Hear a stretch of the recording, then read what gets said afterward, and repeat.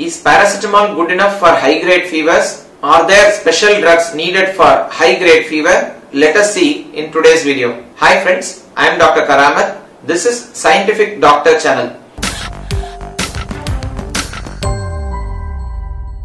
In this channel, videos are being released on health and medicine related information.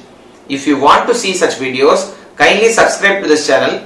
Also, press the bell icon adjacent to it to get instant notifications whenever new content is released. Today's video is about paracetamol. Is it good enough for high grade fevers? Many of us have the notion that paracetamol is not enough to combat high grade fever and we often use medicines like mefenamic acid with brand names such as Meftal, Mefenam, Mefkine or ibuprofen with brand names like Brufen, Ibugesic for high grade fevers. Are these medicines justified for usage during high grade fevers? Let us see the science behind it. First of all, we must understand fever as a malfunction alarm. Many of today's electrical and electronic instruments will have malfunction alarms. Whenever there is trouble inside, there will be an alarm going on and there will be an error code. Fever is just like that. There is some trouble going on inside the body and you have an alarm going on which is fever. Whenever an alarm goes on in a machine, what do you do? You may instantly silence it but you see what is the error, how to rectify it and then go on about it. Similarly, for fever, you may use temporary measures like paracetamol. These are called antipyretics to reduce the temperature.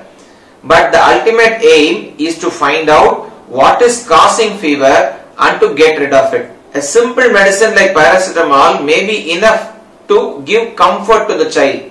Even if the fever doesn't come down completely, there is no need to use any higher drugs. Obviously, drugs like mefenamic acid or ibuprofen are more effective than paracetamol in bringing down the temperature. Let us take a hypothetical situation. If I have another super drug which will control fever irrespective of whatever is the cause for 10 days, is it a good drug? No, no, that is a very bad drug because the infection or the problem inside the body will go unabated. But because the fever is not there we will be less careful about it. So that is in fact a dangerous drug. So whenever you have fever we must understand what is causing it and try to address that problem rather than suppress only the fever secondly the center for disease control in united states of america as well as WHO even our government agencies central and state governments have advised to avoid anything except paracetamol for fever control during dengue epidemics. Why is it so?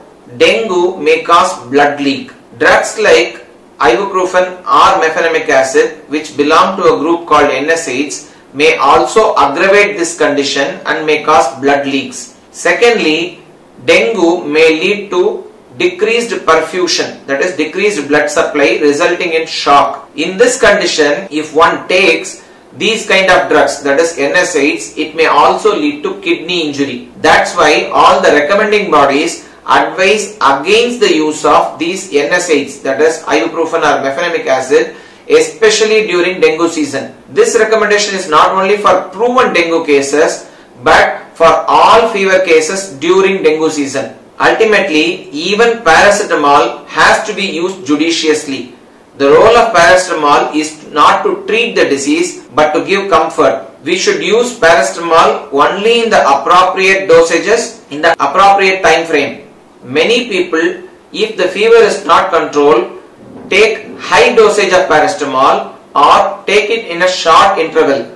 This should be avoided as paracetamol can also lead to liver dysfunction if taken in an improper dose. Ultimately, we have to understand whenever the fever is not responding to paracetamol or if it is very high grade, we should see what is causing this fever rather than worrying about only suppression of fever. Friends, today we have understood that even for high grade fevers, especially in dengue season, paracetamol itself is enough that too in the specified dose and time frame. If you like this video, share it among your friends and relatives. To see such videos, subscribe to this channel. Till we meet again, bye.